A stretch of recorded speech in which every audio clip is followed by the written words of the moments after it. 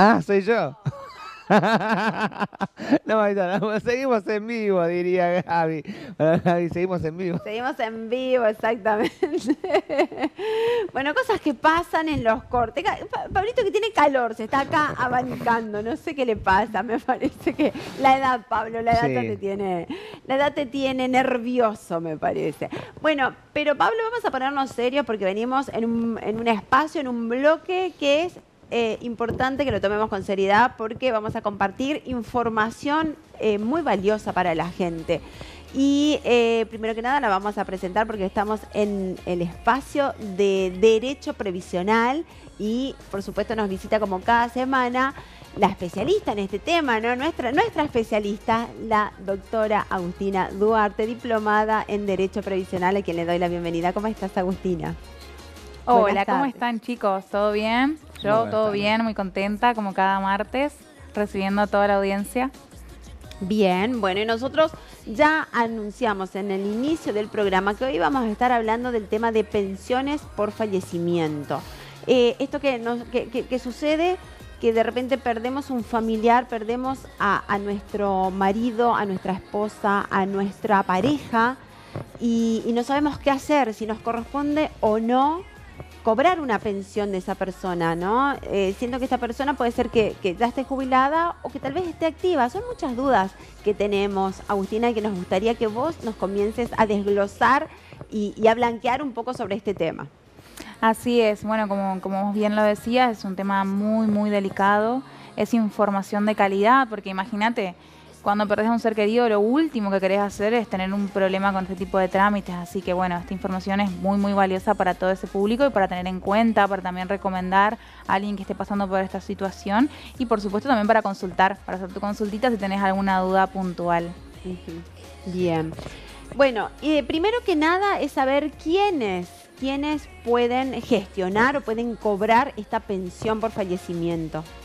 Bueno, en principio te cuento, Gaby, que la pensión de por sí es un derecho. Es un derecho que está destinado a un grupo de personas, ¿sí? A cobrar la jubilación, como vos bien decías, de una persona que ya falleció.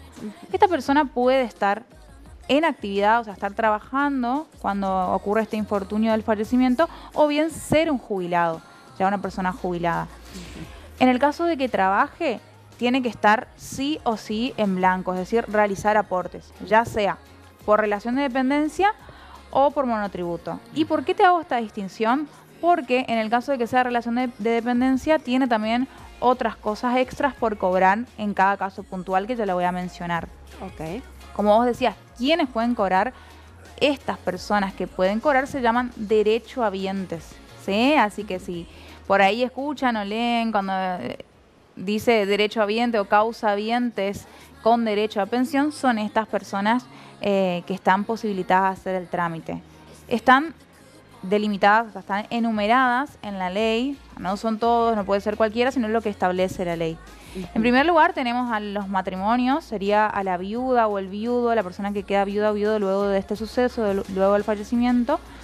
El ex conviviente, el conviviente o, bueno, ese no tiene género, así que los convivientes en general, el hijo menor de 18 años o el hijo incapacitado sin límite de edad, siempre y cuando el causante eh, esté a cargo de esta persona y esta persona quede en total desamparo.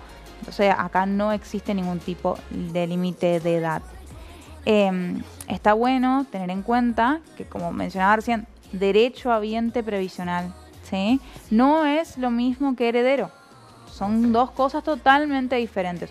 Una persona puede tener derecho a pensión y puede no ser heredero, como es el caso, por ejemplo, de los convivientes, ¿sí? Ok. Te digo un, caso hipotético. Si una persona, supongamos que fallece una persona, ¿sí? Que tiene un conviviente, un hijo menor y un hijo mayor. Las personas que están ahí habilitadas para el cobro de la pensión son el conviviente y el hijo menor que se dividen el 50% en partes iguales, ¿sí? El hijo mayor queda excluido. Entonces, por eso no, no es lo mismo ser heredero que ser derechohabiente. Claro. Y eso también está bueno también a la hora de, como le decía, si el fallecido está en actividad, tiene además, eh, el derecho tiene derecho al cobro también de otras cosas. Entre estas está la indemnización, porque le cobran una indemnización que le hacen como un pago a consignación por todos los años que trabajó la persona ¿sí? Supongamos que ah, tengamos una persona que trabajó 20 años. Bueno, hacen una indemnización por estos 20 años, hacen este cálculo y los derechos habientes con derecho a pensión también son las personas que están en derecho de cobrar esta indemnización. Ah, bien. Esta indemnización se cobra siempre y cuando la persona esté en relación de dependencia, ¿sí? Y en blanco. Sí, en- y en blanco, sí, Claro. sí, sí, sí, sí. Aquí otra vez la importancia que hablamos cada martes de chequear cada tanto, ¿no? Hacer esa consulta con algún profesional que, que vaya indicando, a ver, tengo todos los aportes, me están aportando, guardar todos los recibos de sueldo, eh, certificación de servicio, cualquier pruebita. En el caso de las personas de relación de servicio doméstico, todos lo- los tickets de pago de, de los aportes, que eso se le entrega una copia a ellos, tener esa carpetita con pruebas porque, bueno, si bien hoy en día no lo necesitamos, en el momento que haya una urgencia, esas pruebas son súper, súper Claro. necesarias. Así que sí. Bueno, qué, qué, qué importante eso, ¿no? Ir juntando y archivando, porque a veces uno dice, ay, ¿para qué voy a juntar tanta, ¿Para qué me va a servir? tanto papel? Pero eh, tal vez no lo necesitas, porque tal vez ya está todo bien organizado en el sistema, pero ¿cuántos casos hay que sí necesitas ir con tu prueba, ¿no? Ir Exactamente, con el papel sí. ahí eh, para, para que se corrobore que tu trabajo eh, fue existió, digamos, ¿no? Bueno, y también qué interesante esto que dijiste, eh, que aclaraste, Agustina, que el tema de si, por ejemplo, pensaba yo en, un- en una persona o en una pareja conviviente y que tal vez esa persona sea separada y que tenga hijos eh, con anteriores de otro matrimonio, de otras parejas, ¿no? Porque entonces en ese caso se tiene que dividir esa pensión entre el conviviente y los hijos menores. Exactamente, siempre que exista una concurrencia, es decir, que haya una pluralidad de personas que reclamen esta pensión o esta indemnización, tiene que haber una división. Se da en el caso, por ejemplo, de convivientes e hijos menores o personas casadas e hijos menores. ¿sí? Esta división se da, se da por partes iguales. Siempre hablando de hijos menores, ¿verdad? Los hijos mayores no, ya, ya no tienen el derecho de cobrar lo, lo del fallecido, digamos. Tiene que ser hijos menores necesariamente, exceptuando a las personas que tienen incapacidad. Exactamente, sí, sí, Perfecto. bien. Y eh, Agustina, ¿y en qué momento? O sea, ¿se puede hacer después de mucho tiempo de, de que, se- de que haya fallecido la persona? Porque tal vez algunos se están enterando y, y no sé, su, su esposa, esposo o pareja falleció, pero hace años, supongamos. Para poner de ejemplo, ¿se puede hacer? Se puede hacer, pero siempre es más eh, beneficioso hacerlo de manera inmediata. Mm, Porque eh, todo esto hay que probar, digamos. En el, solamente exceptuando las, los que son casadas, las personas casadas, ¿no? que era el primer ítem, que es justamente el de las que vamos a hablar hoy. Esta persona, se- el matrimonio se prueba con el acta de matrimonio, ¿sí? que es un instrumento público que tiene una validez por sí misma. Así que bueno, eh, es muy importante que no tienen que ser separadas de hechos, porque yo he tenido consulta de personas que sí es bien estaban casadas, nunca hicieron el divorcio, pero resulta que ya no vivían hace muchos años con la pareja, se habían separado de hecho. Es muy importante esto. Si bien el derecho primordial es para estas personas que están casadas y que no, no tienen que probar más, más nada que con el acta de nacimiento, tienen que tener, por ejemplo, el mismo domicilio en el DNI, porque si no ya se presume que eh, no viven juntas. ah, Y bueno, todas estas cuestiones que, que hay que prever. claro. Todo hay que probar. Eh, doctora, en el caso, me, me llama la atención, pero en el caso, por ahí, gente que ignora, ¿no? Eh, o gente mayor que ignora eh, esta situación. Por ejemplo, un señor se casó con una señora, o sea, se casaron dos, se separaron ya hace más de 10 años, ponele 15, eh, pero este señor está viviendo con su nueva, con su nueva mujer, con su nueva pareja. Fallece este señor, ¿de qué manera se, o sea, sin separarse y sin, sin tener esos cambios, como usted dice, de, de domicilio? Porque existen esos casos también. ¿Cómo, cómo, cómo, ¿Cómo se, hace? arregla? Claro, porque ¿Quién seguramente cobra? con testigos, eh, ¿quién cobra? Sí, sí. En ese caso, bueno, si es una persona casada que ya está separada de hecho, la persona que se casó pierde el derecho. ¿Sí? Pierde el derecho y este derecho lo tiene la conviviente. Ajá. La conviviente tiene que Claro. probar. En el caso de que tengan hijos, solo dos años de convivencia, ¿sí? En el caso de que tengan hijos. ¿Cómo lo prueba? A través del acta de nacimiento de los chicos, a través del DNI. Por eso siempre es muy importante esto pre- prevenir. A veces da fiaca hacer el cambio de domicilio del DNI, porque sí, porque yo he tenido clientes que yo nunca hice el cambio de domicilio de la casa de mi mamá. Y no tienen Claro. el mismo que el conviviente, entonces eso, el DNI es fundamental. Así que para todos aquellos que nos están viendo y no hicieron el cambio del DNI con su pareja y viven juntos, háganlo. Porque ahora no es un problema, pero al momento que tengan el problema, ahí van a, van a surgir todas estas Claro. cuestiones que, que son muy necesarias saldar. Eh, es una prueba que uno también tiene, ¿no? Exactamente, es una prueba fundamental el DNI. Así el DNI, como también asegúrense de, por ejemplo, si conviven, que a nombre de uno esté la boleta de la luz, a nombre del otro esté la boleta del agua, que exista, que se vea, digamos, ese plan de vida eh, plasmado en todo lo que sean los servicios. También puede ser de internet, de todo lo que sea servicios del hogar. O también, por ejemplo, un contrato de alquiler, que es muy importante. Háganlo a nombre de los dos, porque eso también es otro problema. Si bien hay que probar que vivan los dos en el mismo lugar, a veces uno hace el cambio de domicilio y se vuelve a un nuevo domicilio y el otro no hizo y bueno, y justo ocurre este infortunio porque es realidad, nosotros nunca sabemos hasta cuándo estamos en este mundo y ocurren estas situaciones Claro. que a veces nos agarran desprevenidos, por eso siempre es mejor. Claro. En el caso de los convivientes con hijo, son dos años lo que hay que probar, ¿sí?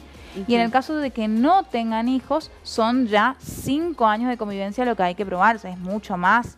Por eso, hay muchas situaciones más de lo que ustedes se imaginan que van a ir a la casa del suegro y la luz está a nombre de lo- del consuegro que ya falleció. No Mm. tienen nada a nombre de ellos y cuesta probar. En esos casos, como preguntaba Pablo, sí se acuda a testigos, pero no es tan fuerte esa prueba como la son los documentos. Por eso, a tener al día todos los documentos para evitarnos to- todo este tipo de problemas al momento de solicitar la pensión. Qué importante, Agustina, que nos digas esto, porque realmente uno a veces eh, nos cuesta sentarnos a pensar en estas cosas, ¿no?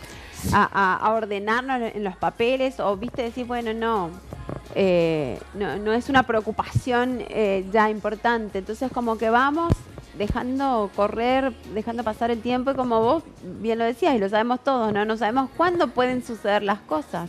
Sí, Así no. que está bueno el, el ser ordenado y tener todos estos ítems, tenerlos en cuenta. Puede ser cuántos años eh, estos cónyuges. Ah, bueno. eh, em, Pablo está con un problemita de, técnico y mientras yo, Agustina, te pido que le cuentes a la gente dónde te encuentra. Bueno, sí, como no. En principio, muy bien recibidas todas sus consultas al número que aparece en pantalla. Ahí pueden consultar, como también pueden pedir una cita previa. El estudio queda por calle Junín al 2084, acá entre Brasil y Uruguay. Y siempre atiendo con cita previa, ¿sí? He recibido eh, varias consultas así alternadas esta semana. Así que aquellos que quieran profundizar en su consulta, piden una cita a ese número y se les va a atender personalizadamente.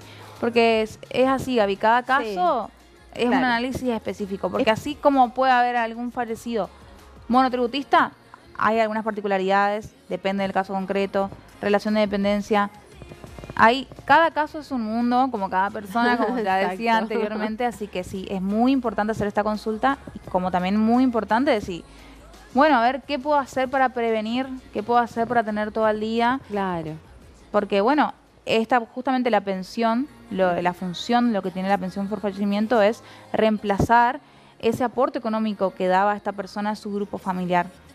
Hay que están desamparados, ¿no? sí, hay muchas casas que tienen solamente un sueldo. Sí. Muchas casas que tienen eh, tres, eh, tres o cuatro hijos y tienen un solo sueldo con el que viven. Así que es muy importante. Imagínate que una persona quede desamparada. Totalmente, no, Sí. totalmente.